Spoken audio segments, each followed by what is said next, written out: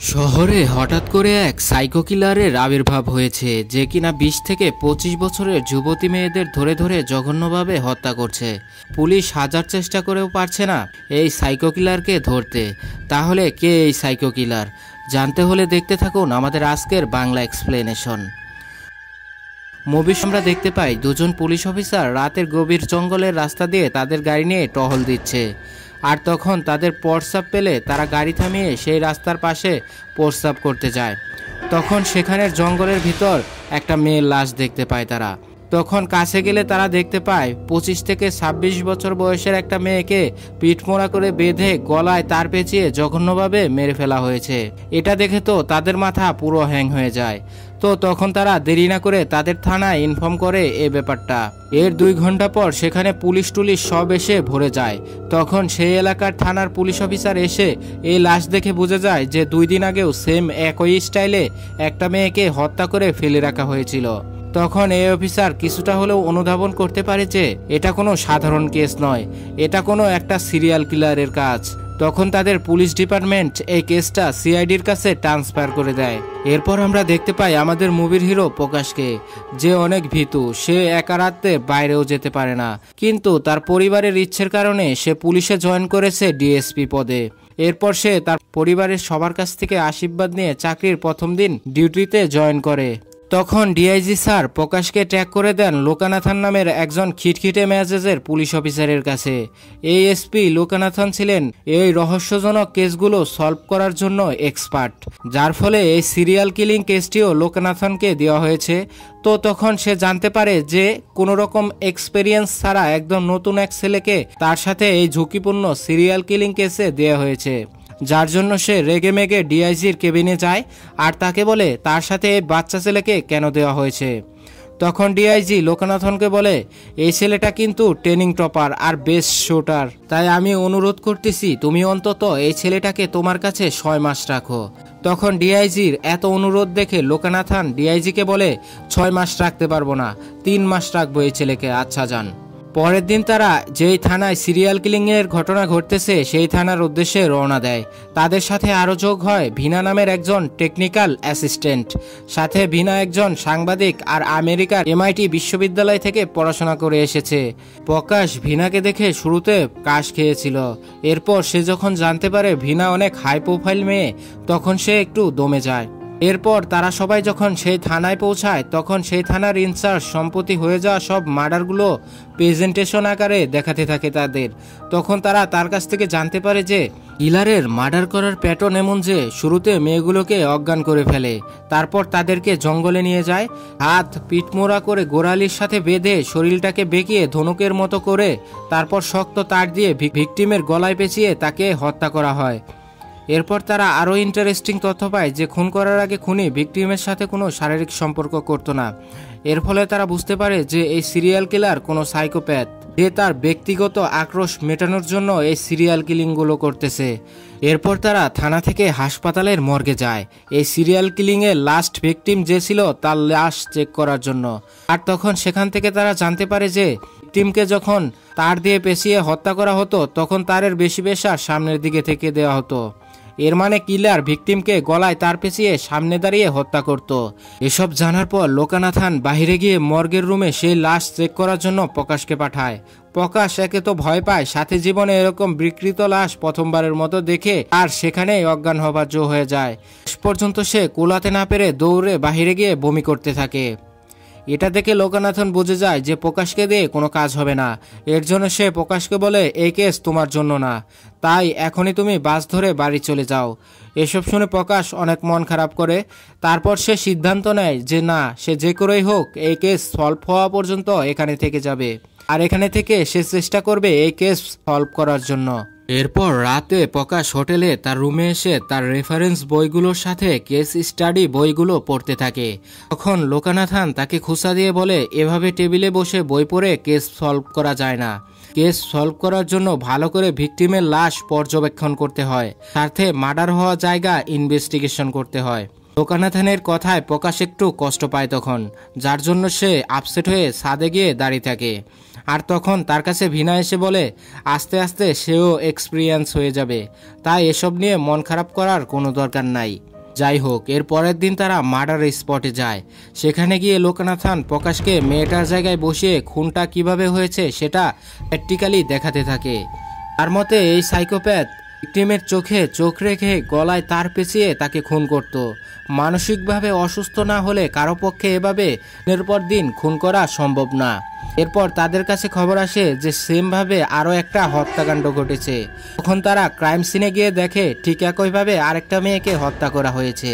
এবার প্রকাশ ভয় না পেয়ে ওই লাশের কাছে গিয়ে একটা থার্মোমিটার লাশের মুখে ঢুকিয়ে দিয়ে চেক করে যে এই লাশটাকে কখন মারা হয়েছে। এটা দেখে লোকানাথান কিছুটা হলেও ইমপ্রেস হয় প্রকাশের ওপর।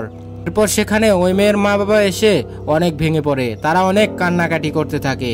তখন প্রকাশরা ওই মেয়ের মা বাবার সাথে কথা বলে আর তাদের কাছ থেকে তাদের মেয়ের একটা ছবি নিয়ে আশেপাশের এলাকার সবার কাছে জিজ্ঞেস করতে থাকে এই মেয়েটার ব্যাপারে।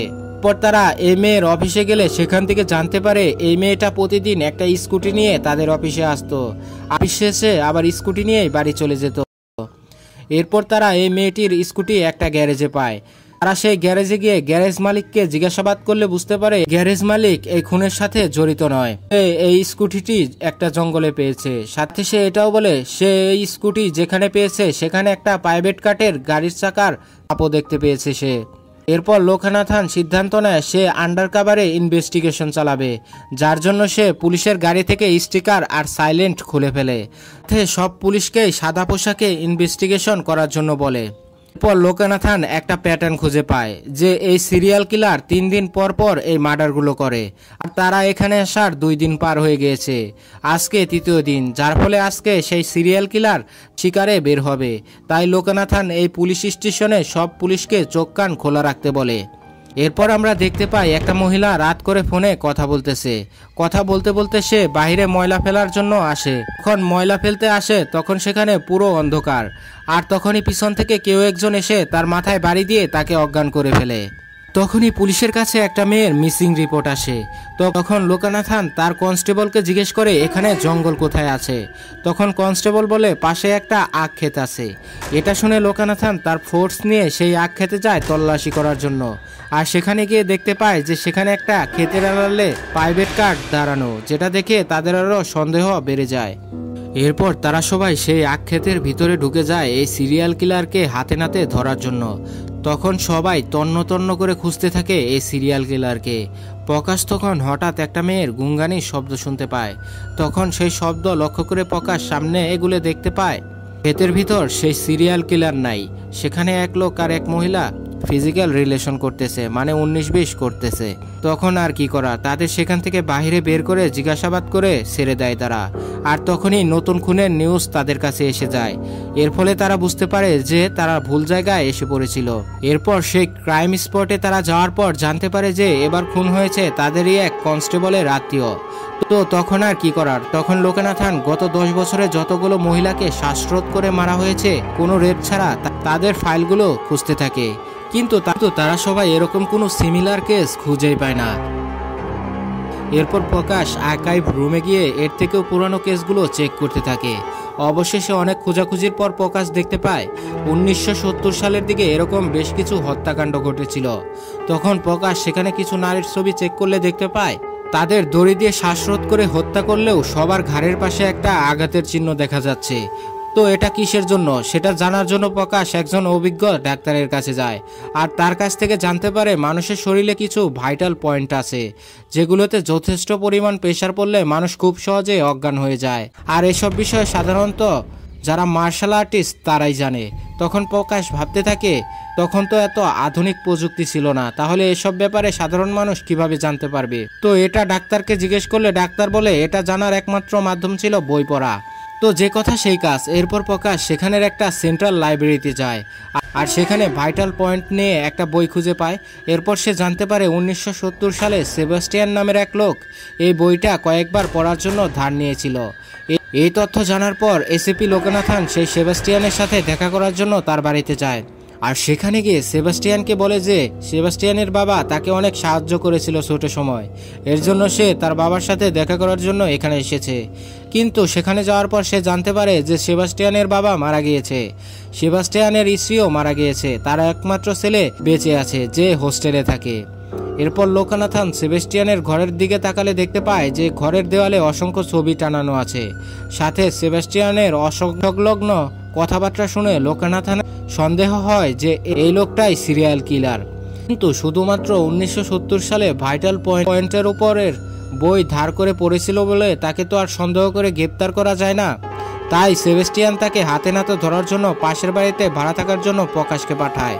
এরপর সেখান থেকে প্রকাশ সেবাস্টিয়ানের উপর নজর রাখতে থাকে। কিন্তু প্রথম দিন তেমন কিছু দেখতে পায় না। কিন্তু পরের দিন রাত নয়টার দিকে সেবাস্টিয়ান গাড়ি নিয়ে বের হয় আর তখনই প্রকাশ লোকনাথনকে ব্যাপারটা জানিয়ে দেয়। তখন লোকনাথন পেট্রোল পাম্পে দাঁড়িয়ে থাকা কনস্টেবলদের এর গাড়ির পিছু করতে বলে। তখন কনস্টেবলরাও গাড়ির পিছু করতে থাকে। এরপর রেল কেসিংয়ের সামনে এসে সেবাস্টিয়ানের গাড়ি দাঁড়িয়ে যায়। রেলের জন্য।